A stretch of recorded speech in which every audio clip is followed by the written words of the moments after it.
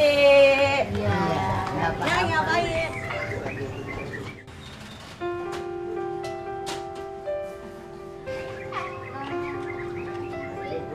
awal-awalnya tuh saya ikut orang ikut orang udah empat tahun terus saya eh, ada yang ngasih saran kamu ikut orang di situ kamu jangan diam kamu harus pikiran kamu harus berkembang kamu harus bisa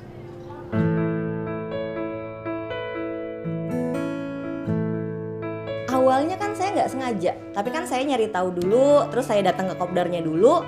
Setelah saya cari tahu, saya ngeliat di Mapan itu bukan sekedar perusahaan yang cari untung kalau menurut saya. dia dari notifikasi Grab tuh kalau yang istrinya apa ya kalau yang suaminya nge-Grab istrinya suruh jualan gitu. Segala pulsa token listrik pembayaran tagihan. Ya udah sekalian aja kan kebetulan istri warung sekalian saya downloadin dari modal awal Iya, 500 ribu 500 ribu. Dari modal kecil sampai besar terus kata suami kita eh, biar maju lebih maju masa selalu gerobak-gerobak aja.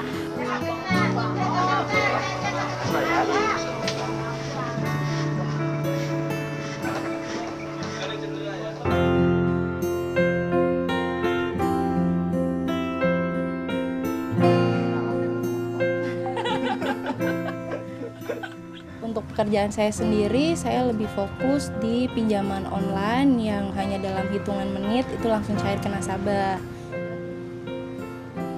Verifikasinya telah selesai, yang rutin itu udah pasti layanan apa bayar pembayaran listrik, beli token PLN, terus eh, apa kirim uang antar bank. Nah, tapi sifatnya dia lebih ke offline to online. Jadi eh, layanan offline, layanan loket, layanan gerai gitu. Kalau arisan konvensional itu kan biasanya kita masih dikocok-kocok ya mas.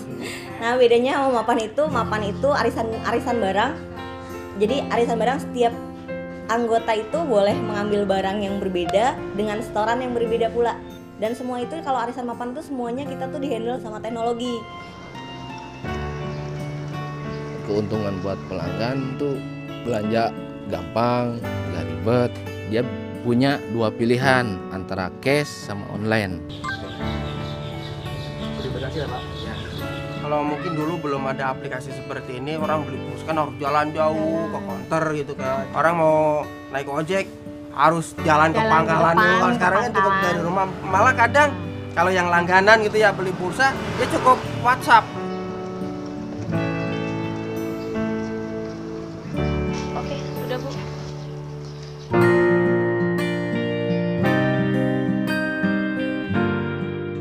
Membuat saya bangga ya karena mungkin saya pernah merasakan hal yang sama ya Pak. Saya bisa membantu orang lain, saya bisa nyekolahin anak, bisa bayar kontrakan, bisa beliin sepatu, seragam. Ekonomi saya terangkat lah dari situ.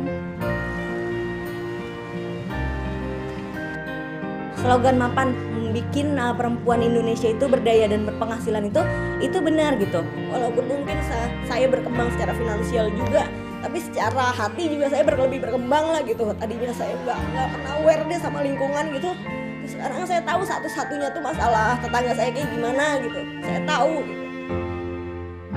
Yang pertama kemanusiaan lah. Kita kita juga butuh bantuan orang lain ya kita membantu orang Bantu. lain gitu pertama. Kedua kalau ada sisi bisnisnya kenapa enggak? Ke customer itu eh, berusaha ada punya nilai-nilai sendiri yang sifatnya kekeluargaan. Jadi customer atau pelanggan yang saya layani itu mereka senang. Saya senang karena mereka senang. Kalau menurut saya sih ketua arisan itu memang orangnya wajib dipercaya tanggung jawab dan amanah. Itu sih pak